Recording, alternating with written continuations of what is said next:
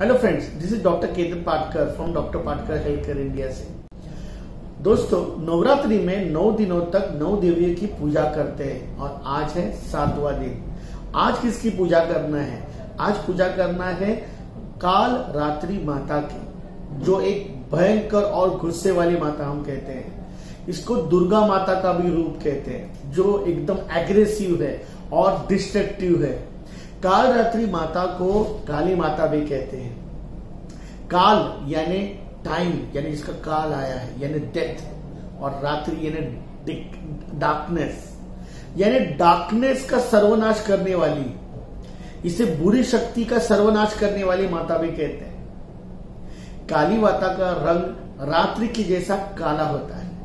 हाथ में कटियार होती, और दूसरे हाथ में एक बिजली की तरह एक शस्त्र होता है। एक बार क्या हुआ, शुंभ और निशुंभ नाम के दो राक्षस थे। उन्होंने देव लोक पे अटैक करना चालू किया। देव लोक में देव लोगों को परेशान करना चालू किया और सारे देव भाग के आ गए पार्वती के पास और पार्वती को सारा दुखड़ा सुनाया।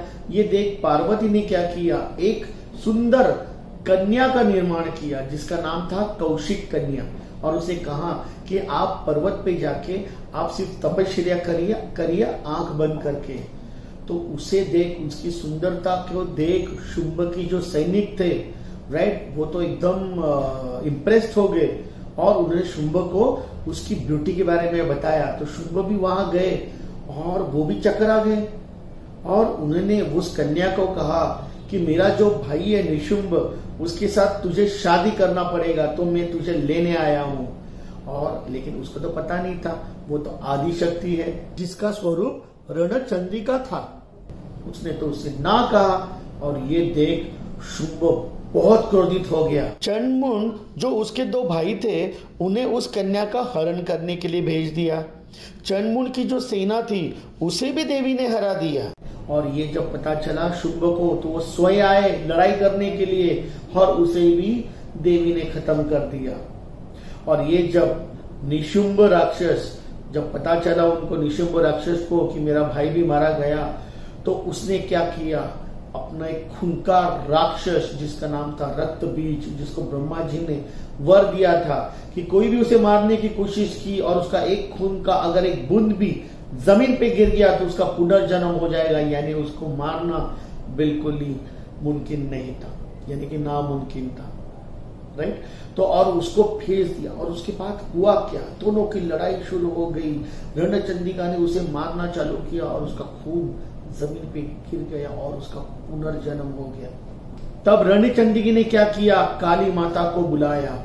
और काली माता से ये कहा कि ये जो राक्षस है, रक्तबीज राक्षस इसको मैं मारने वाली हूँ, लेकिन इसका एक खून का जो बूंद भी नीचे गिरना नहीं चाहिए, बस आपको ये करना है।